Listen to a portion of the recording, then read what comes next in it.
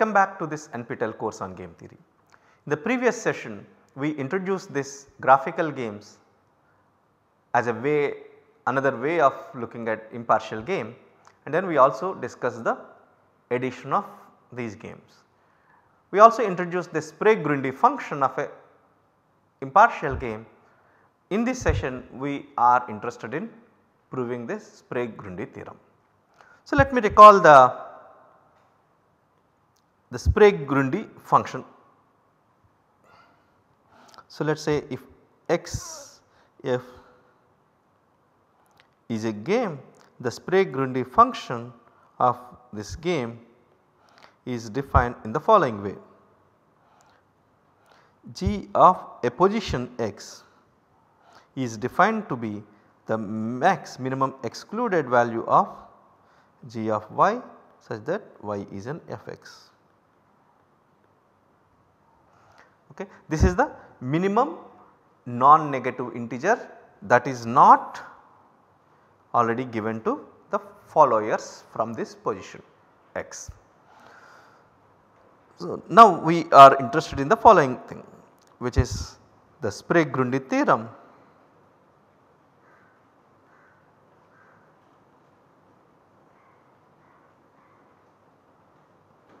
What it says is the following thing. Let us consider n games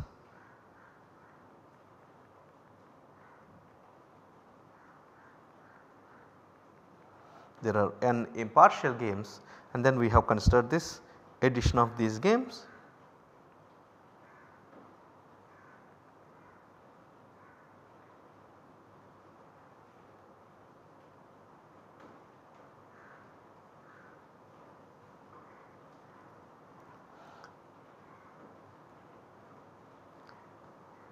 We consider the addition of these games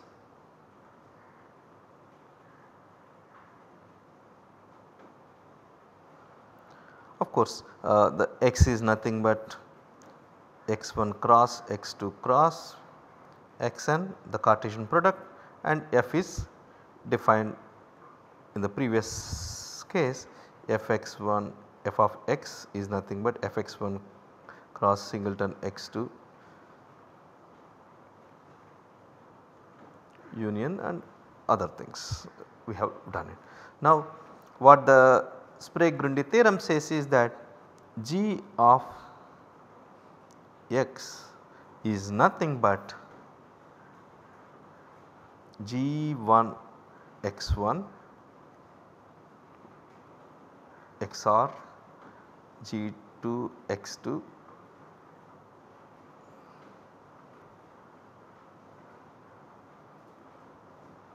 okay. In other words we say that g in other words we say that the, the Sprague-Grundy function g is nothing but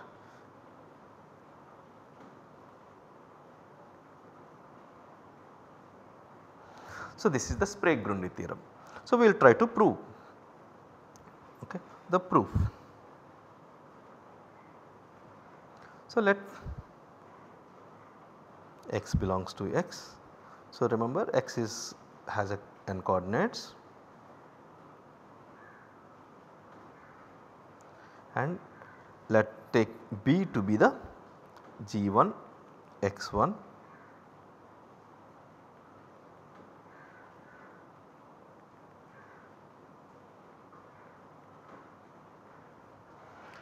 and we need to show that we will show two things.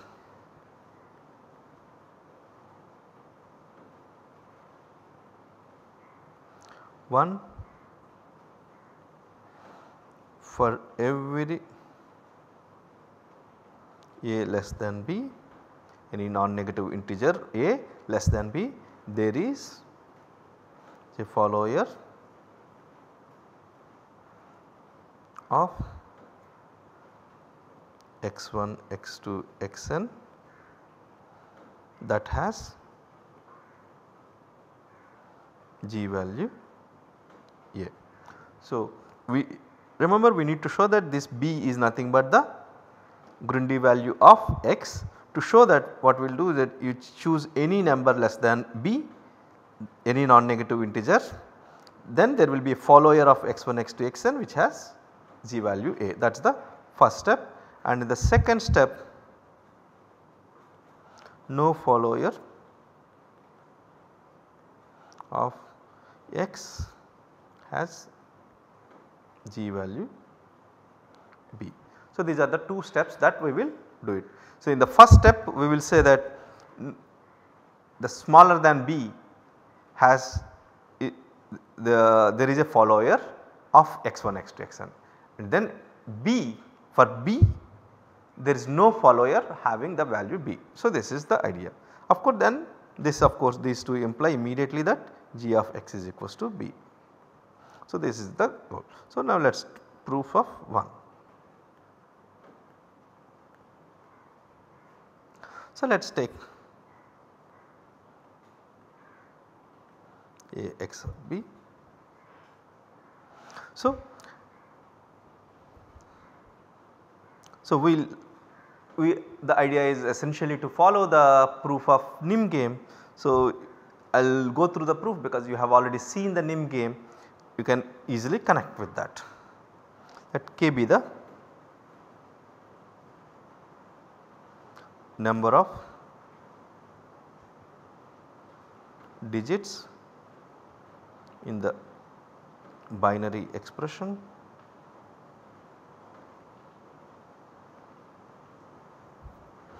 of D so that 2 power k minus 1 is less than or equals to D less than 2 power k and D has a 1 in the kth position. Okay. So, we are choosing this in the kth position of D there should be 1 and k is in such a way that 2 power k minus 1 less than or equals to D which is strictly less than 2 power k. So, that we are looking at it in a sense the largest this it is exactly the same as in the previous this thing. Now, we have A less than B therefore, B has 1 in kth position. Therefore, A will have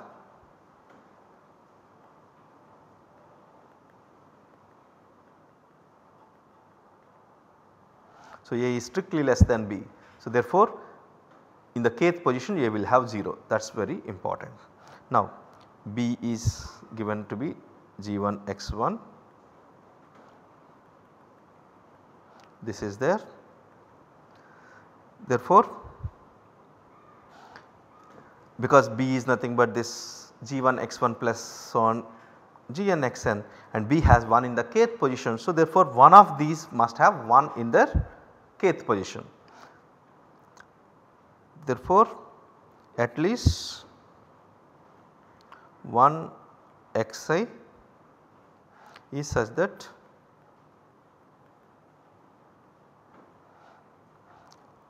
the binary expansion of GIXA has 1 in kth position. This follows because B is the, the sum of all these things. In the uh, remember if odd number of ones are there it becomes 1 otherwise it is 0. So, therefore, in the kth position is a 1. So, there must be odd number of them. So, therefore, it will come just go back to the proof of NIM you will it becomes clearer. We have used exactly the same thing. So, for simplicity assume this to be x1. So, what we are saying is that x1 the first one has the 1 in the kth position. Now, d this will be strictly less than g1 x1. because in the kth position both of them have 1 therefore d plus g1 x1 in the kth position it will be 0. So, therefore, this number has to be less than that. So, g, it will be strictly less than g1 x1. So, therefore, there is a move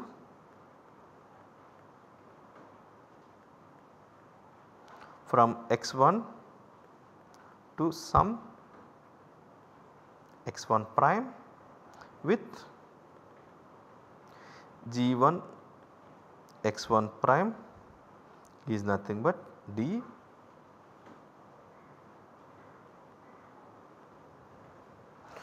okay. So, because this number is strictly less than g1 x1 so therefore there will be a move from x1 to some x1 prime where this g1 x1 prime has to be smaller than this one. This is coming from the definition of this Grundy function or this arithmetic that we have number arithmetic. Okay. Therefore, the move from x1, x2, xn to x1 prime, x2, xn is a legal move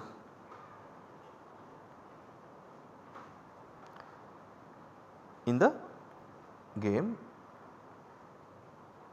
G. And further what I would like to see the G1 x1 prime plus G2 x2 Gn x and this is nothing but d G1 x1 prime is nothing but this. I just put there.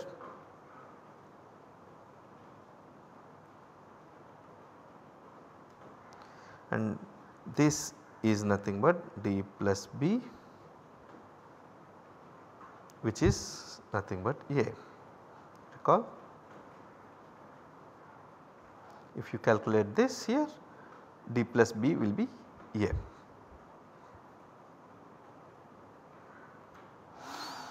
Okay. This proves the 1. Now we need to prove of 2. Suppose to the contrary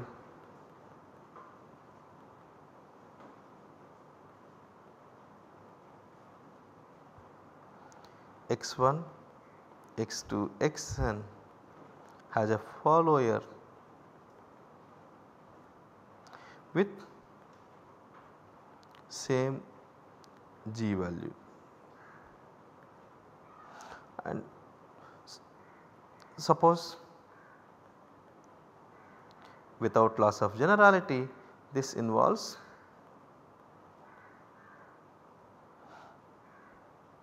move in the first game. Okay. Therefore, let us say from x1, x2 xn you have moved to x1 prime, x2, xn. So, this is the move that is giving you the same g, g value let us assume that okay and we are assuming that g1 x1 prime plus g2 x2 gn xn this is same as g1 x1 g2 x2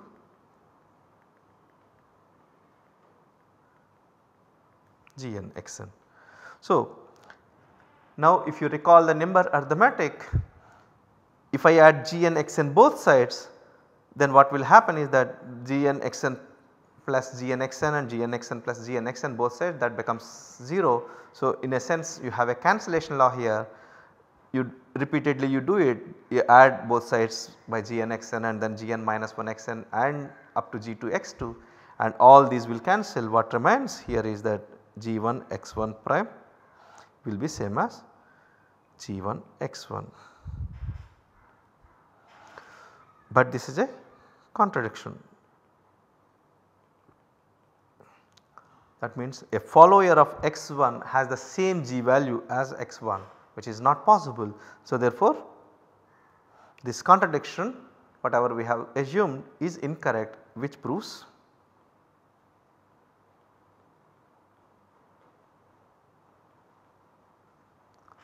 two holes that completes this fact.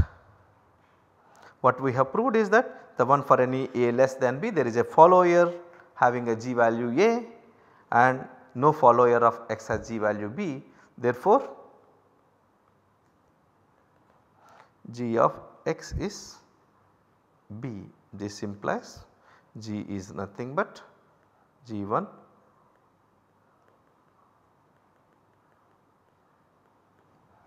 the Sprague-Grundy value of this addition of these games satisfies this addition principle.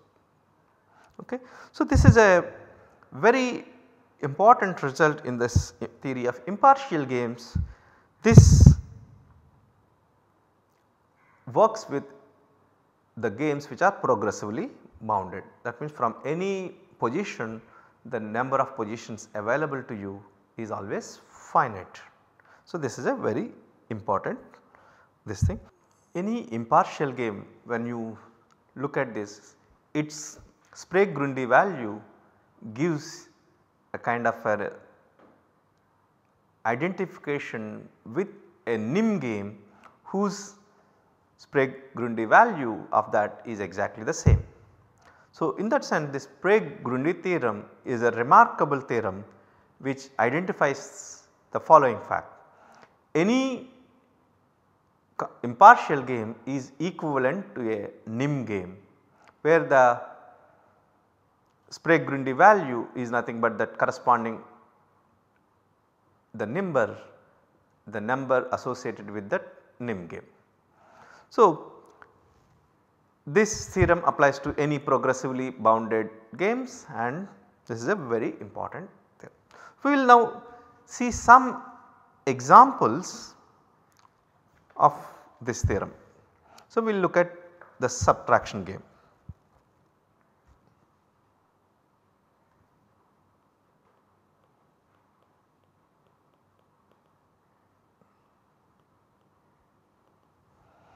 Okay. So, let us denote by GM is one, one pile subtraction game.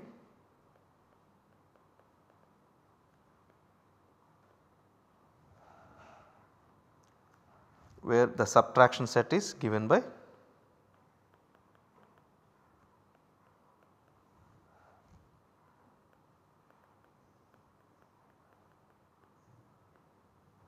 So, in a sense if you have a pile of coins and then you can remove at any point of time any coins the number of coins cannot be more than m anything between 1 to m you can remove it. So, the Sprague-Grundy function of this game, the Sprague-Grundy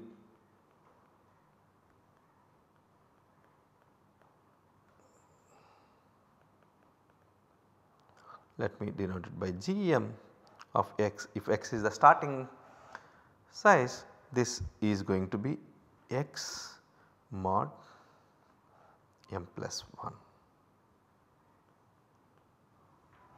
So, how do we prove this fact? In fact, we have seen this earlier when we are looking at the takeaway games and other things we know the this procedure if there are x coins okay, what is its Sprague-Grundy function. So, let us try the best way is actually to write down the, the terminal position. So, if Gm 0 is nothing but 0 that is that 0 is the terminal position. So, what about GM1 is going to be exactly 1 and of course up to GM this is going to be m. What if there are m plus 1 coins? If there are m plus 1 coins now it is a the player any player the player who is going to make the move he can remove m coins at the most. So, therefore, the, the person who is going to make the move at m plus 1 is going to lose and then if you look at it this is going to be simply 0. Okay. So, and in fact this is nothing but m plus 1 mod m plus 1. So, in fact proceeding inductively you can see that gmx is nothing but x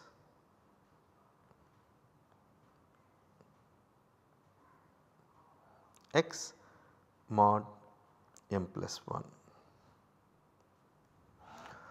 Okay. Note that gmx is always in between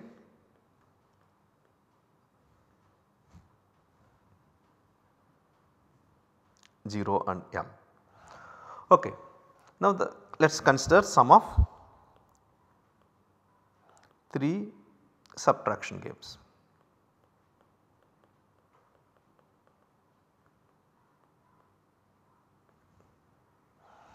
First game. Let us take m is equals to 3 9 chips let us take. We start with 9 chips. Second. Has m is equals to 5 and there are 10 chips. Third game m is equals to 7 and pile has 14 chips. Therefore, initial position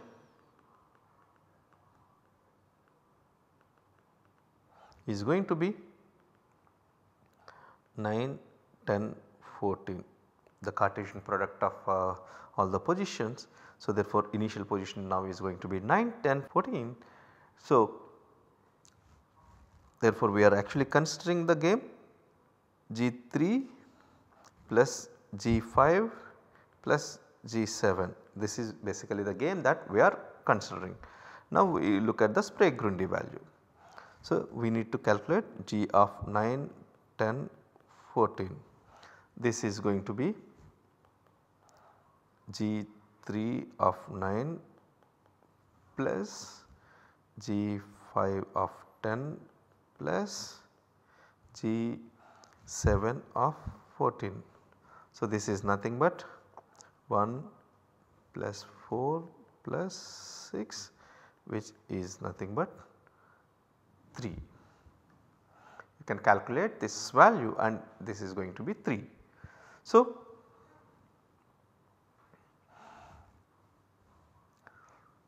so therefore, by looking at this Grundy value one optimal move is to change the position in game G7 to have Sprague Grundy value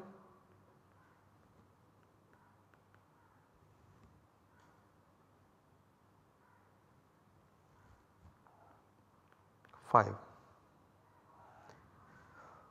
This can be done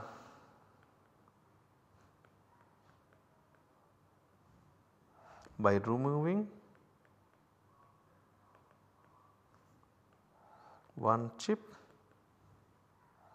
from the pile of 14 leaving 13. So, apart from this there are other optimal moves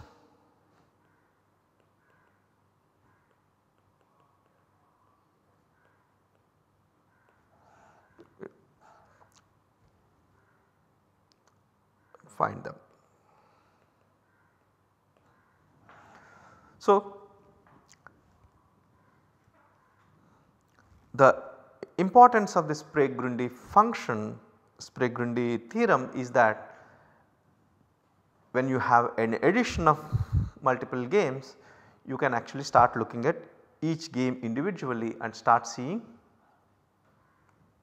their Sprague values, Sprague-Grundy values and use them to see which game you need to play.